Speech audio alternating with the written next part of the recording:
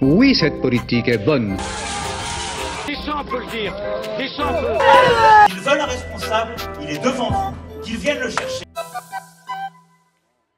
Moi, je crois vraiment que nous tous autour de cette table, si on voyait ces images dans un autre pays dit démocratie libérale type Hongrie, on serait épouvanté.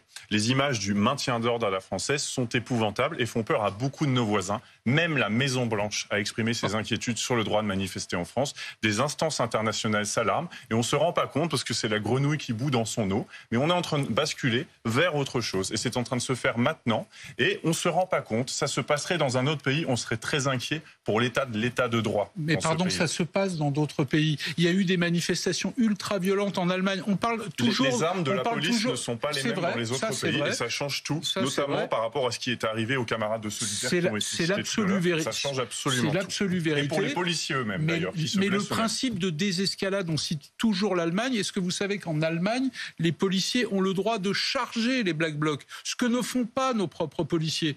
Ils- ce ce qu'ils ne font pas. On fera un Euh, débat sur le maintien de l'ordre une autre ouais, fois Ça si vous voulez ça bien. charge, ça gaz. hein. On est bien d'accord. Merci.